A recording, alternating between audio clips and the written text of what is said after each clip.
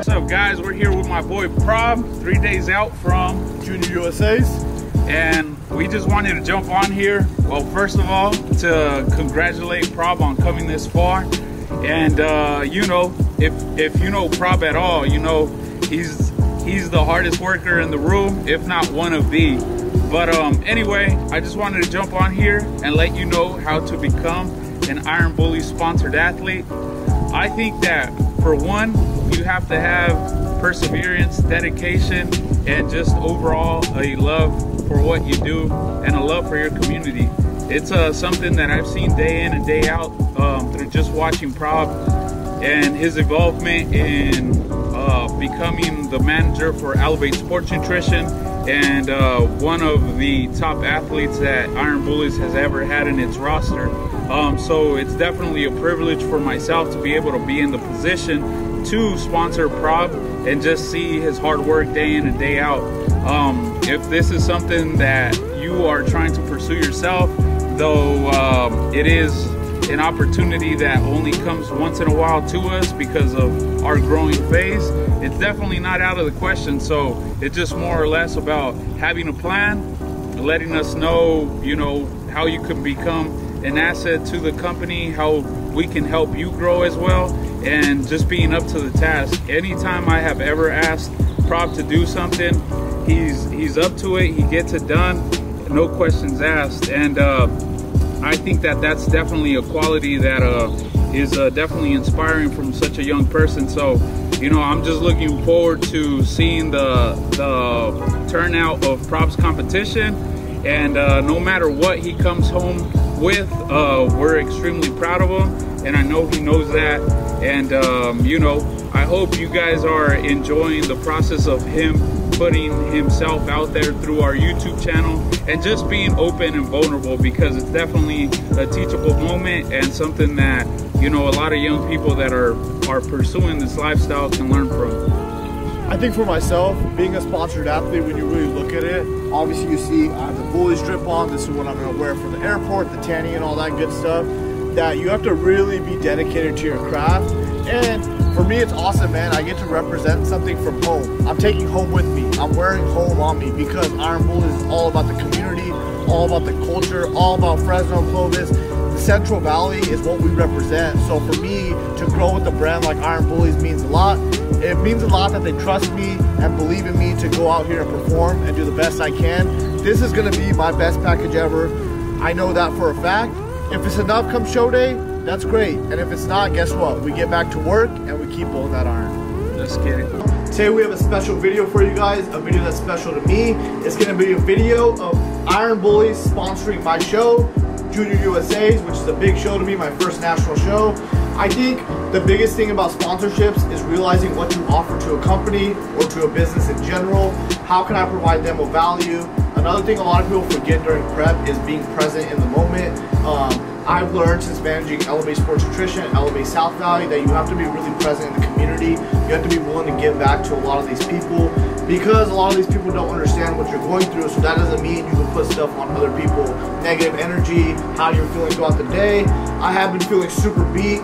Uh, this last week. It's been really hard. Um, energy levels are super low and depleted, but I'm in good spirits, and I've showed that at Elevate South Valley and Just Lift Gym because I've been training there. A lot of the community has really embraced me out there. It's been an awesome feeling and an awesome experience. So today we're going to show you how to become an Iron Bully sponsored athlete.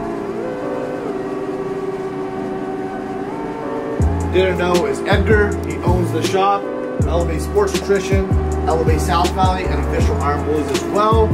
So I know a lot of people have been thinking that I own Elevate South Valley. I do not. That's the boss man right there. And he's provided a lot of people with opportunities, um, job opportunities at Elevate Sports Nutrition. We have a lot of guys working here. A lot of people at Elevate South Valley. We have the man behind the camera, Morty, who's also been offered an opportunity to film and record a lot of content for us. So it's been a blessing to have somebody who supports dreams and supports goals. Here's the check. This is for the purposes of uh, the thumbnail. Obviously, we'll do the whole cash, the cash uh, idea you were talking about, but So, all right. So, you know, a lot of a lot of inquiries come in day in and day out. You know, um, in regards to sponsorships. And it's always a bittersweet feeling for myself just because, you know, I wish I could say yes to everybody, obviously. Um, you know, being somebody that grew up with very minimal resources, it's always been a dream to be able to just, you know, achieve the best life possible and uh, you know to some extent uh, a lot of my life has been focused on becoming financially well off. And though i'm still not where i would like to be i think i'm extremely grateful and blessed to, to have achieved what i've done so far. Um, but going back to you know the little things that i've created like iron bullies and you know buying out elevate sports nutrition a few years back it allowed me to see things from a different perspective. And obviously, it paints a different picture for people on how they perceive me or what they think I could afford to do or not, you know. Um, so when I get these messages, most of the time, you know, I have to, one, see what the person's all about. Um, if there's somebody who's consistent, if there's somebody who's a team player, if there's somebody who aligns with the brand, most part, you know, I've made a decision a while back to kind of give my guys the first the first dibs when it comes to sponsorship. So though um, you know they kind of have competed at different times, I've been able to help you know quite a few people in the last couple of years of, of me doing what I do. Um, but to get to the bottom of it, if you want to be an Iron Bullies athlete, you know, of course, be be about the lifestyle, be somebody who's dedicated to, uh, like Rob mentioned, being present in the community.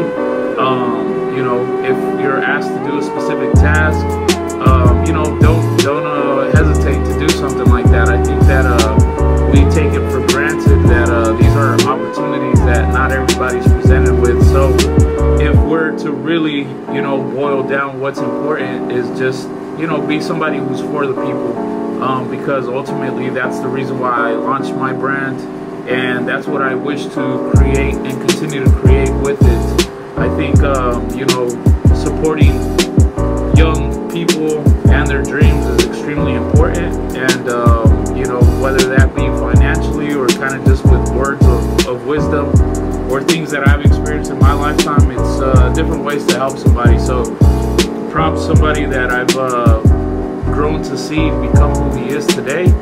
And I have trusted him with, uh, you know, our full operation out in the South Valley. So I'm extremely grateful.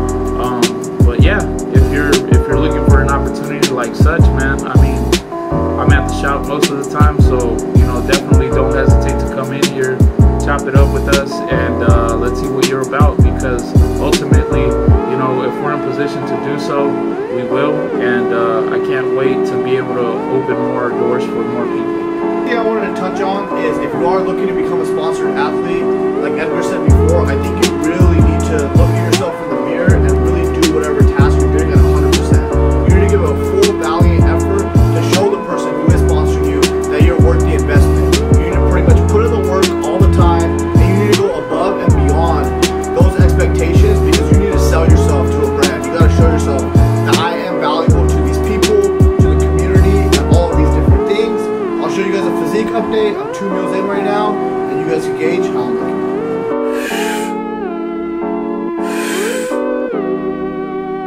You are absolutely sliced.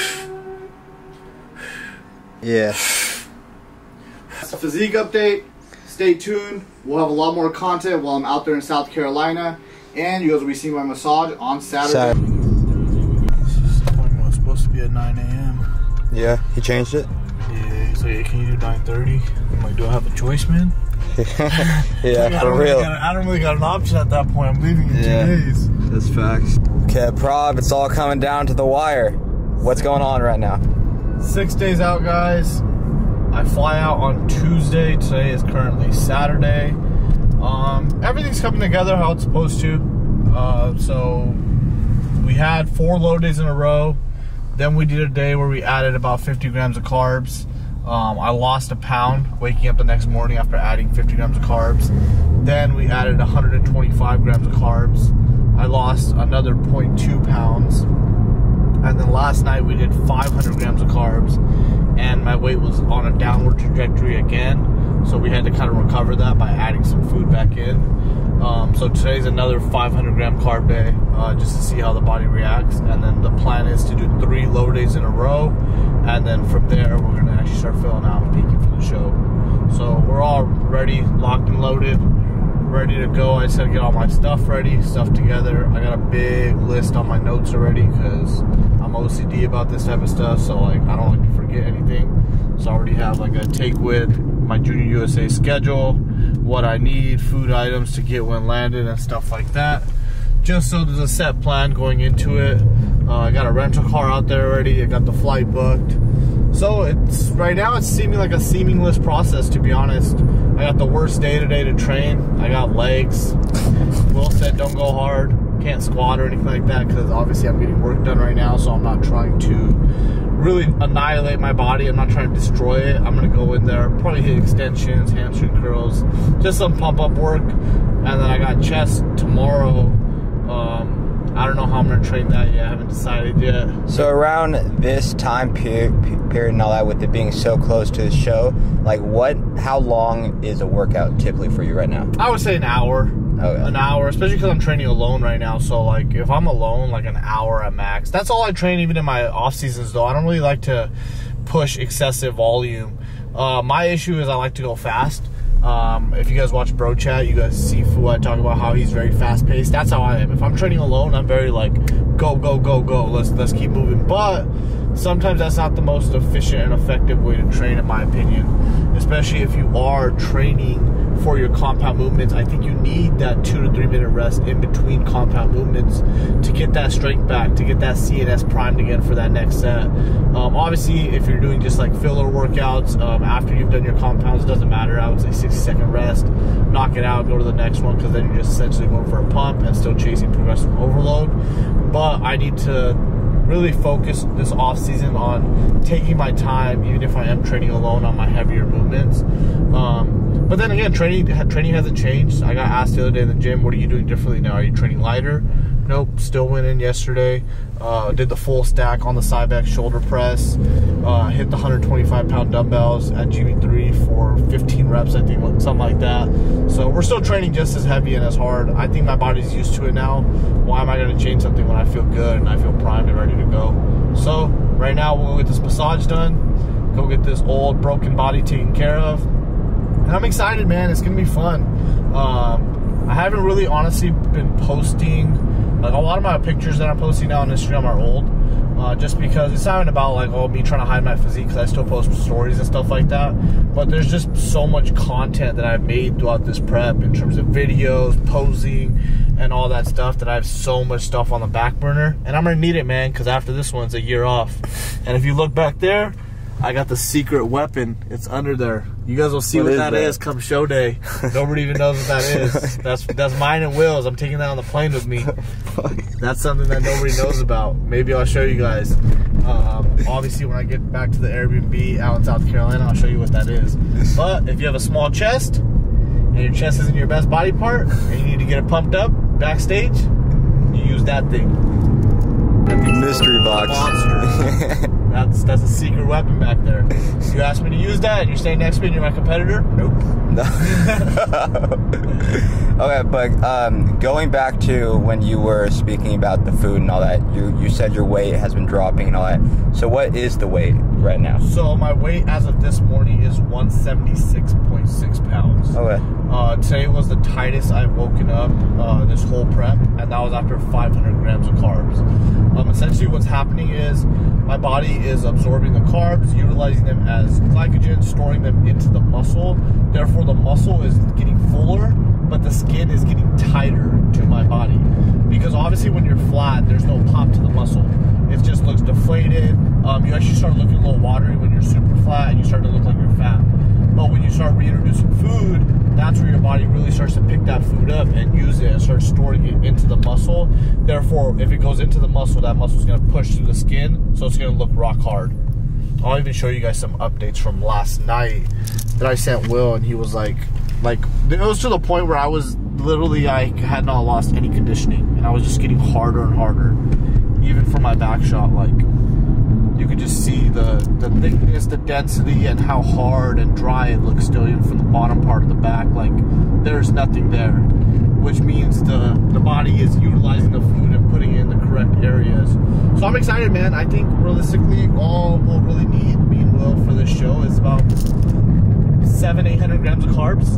Because um, obviously we did 500 yesterday, and my body ran through that.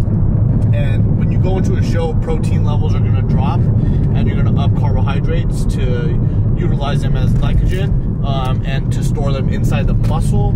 So, like I was saying, when protein levels drop, you only want to keep a specific amount of protein in. The only reason you want to have protein in still towards peak week is because obviously peaking for a show is because you want to stabilize blood glucose levels. Fats can do that, proteins can do that as well. So you want to keep a small amount in, but obviously we're not trying to preserve tissue the last couple days. The tissue's there, it's gonna stay. Uh, with super supplementation, tissue's gonna stay, you know what I mean? So the biggest goal then is just to fill out the frame and get it ready to rock. Cause I feel good. I'm actually a little bit nervous for this one though, which isn't normal for me. Um, I think I'm nervous just due to the fact that the time I've put into the show um, has been crazy and like my, my my focus has been very much just been on the show. But I'm nervous because of the posing routine. This time around I practiced something. I worked on it. So now it's like, if I go on stage and I mess this up, it's like, damn, I worked for this. Yeah. I practice this every single day. But we're still tweaking my posing right now because some of the shots I'm still not hitting um, exactly how my posing coach wants me to and stuff like that. Um, I'm turning a little bit way too much to the side. I need to face more forward. So I fixed those issues these last couple days.